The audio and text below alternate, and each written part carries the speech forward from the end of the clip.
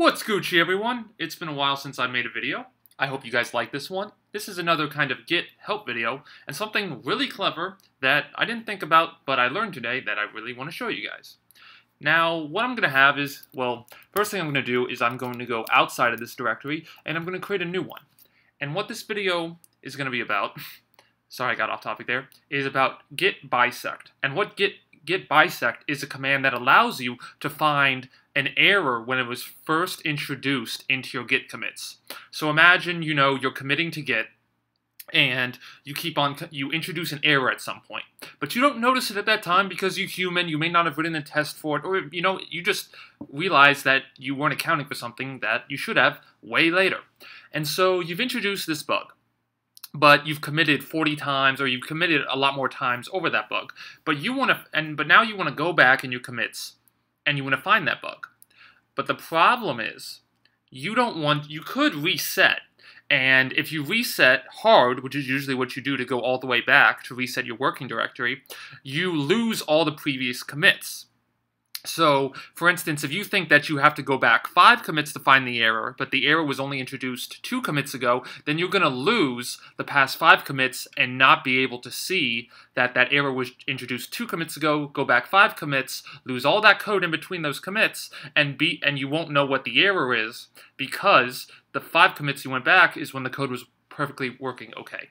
And so I'm going to show you guys a quick example of that. I also am going to have a link to a to a few articles, or just one I thought was really good, that describe this in writing, so you can just read that and not listen to my nonsensical talk, or my illiterate talk.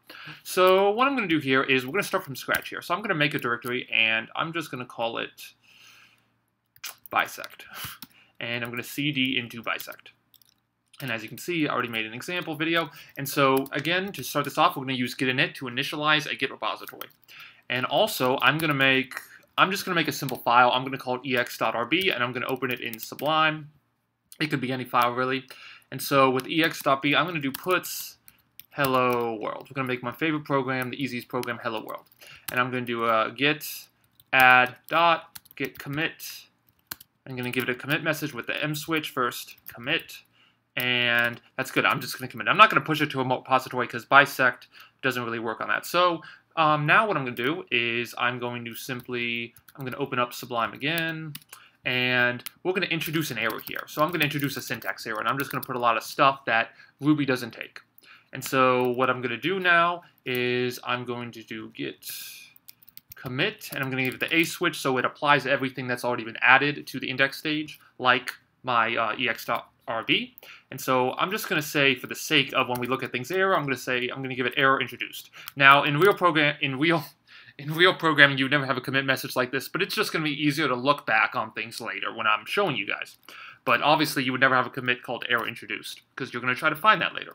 And so now I've committed it, and let's open this again. And so let me just put a few. So now I'm just going to um, again, keep on coding. And let's just say I was going blind because I am going blind. I have serious eye problems. Little tip of the day. And I just did not notice that I was uh, um, making that mistake.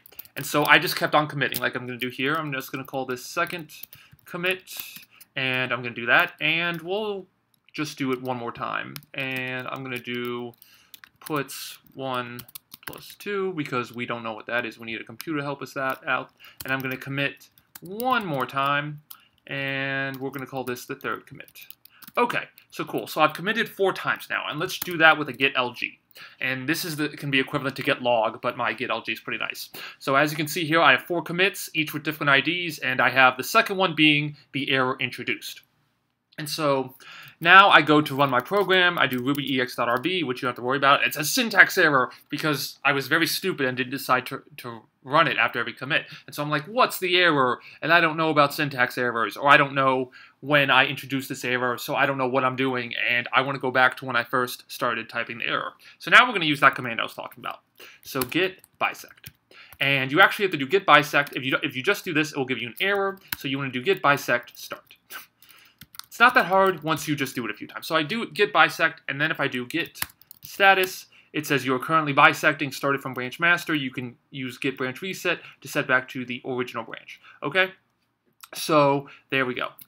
So now I'm now I need to do let me do git LG here because now what I need to do is I need to give a I need to do git bisect good and then slash bad, but I need to do them with different lines. So what I do is I give git bisect good and I want to give it a good commit. So I want to give git bisect a commit that I know was good. And I happen to know that the first commit was good. It means that I had no errors there. And then I'm going to do git bisect bad, which is me which means I know at least the error started here, so I'm going to give it the last commit, and that's okay. And what git bisect does, is the reason because it's called bi, is it's for binary search. It's going to figure out where your bad commit is by looking at, for instance, the middle, uh, selecting one of the, the middle of these commits saying, is this commit bad? If it is, it's going to look, if, it, if this commit's bad, it's going to keep on looking lower down the chain. And then if it's good, in this case, it's going to keep on looking up above the chain because it, it's trying to find it, it's trying to, you know, middle its way down. And so it will keep kind of halving everything just like a binary search tree does, if you know about that.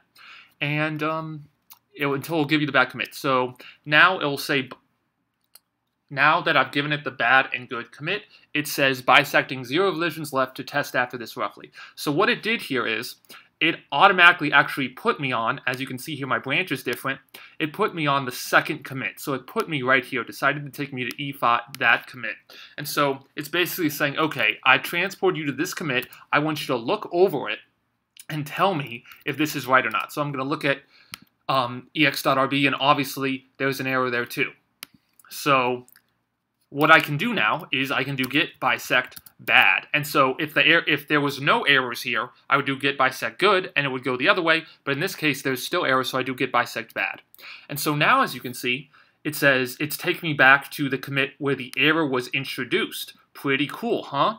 So now it you know it did the binary search and it went between E598 here, right here, and it went and looked at you know B18 because it knew that was the good commit and said, oh, what's in the middle? FCB. So now it says the error so now it's the commit where the error is introduced. So look, yeah, so that's why I introduced the error. But now, like, so, but that is where the error is introduced, so I still know that's bad. So now what I can do, so then I'm going to still say git bisect bad. And so now what it does is the git bisecting is done. And that's because it is nowhere else to go here because I'm here and it can't split between FCB and B between, you know, the first commit and the error introduced commit is what I'm trying to say. And because of that, it knows it's done. And then so it says, you know, FCB7 is the first bad commit. And that's right. That was the error introduced commit, right? It figured it out just through my simple decision making. And so if I do git LG, it will show you that. So since it figured that out now, that is where I my working directory is. If I do, sorry, Sublime ex.rb, that is what the error I introduced. That's all the random stuff I put. And so I don't have all the code I've overwritten on that or anything else. That is the error I introduced. So while it, it didn't fix my error, I am now back at the proper commit where my er, where my error was first introduced because, well, one thing you could do is you could have, you know, you could have whatever your test file, and the example in the documents below, and I'll make another video, shows you to automate a test file using git bisect. But now I'm at that first I'm at that first commit, and I can be certain I'm at that first commit as long as I've set my good and bad com commit parameters, the endpoints, properly. Well, guys, I hope you enjoyed this video, and have a great day.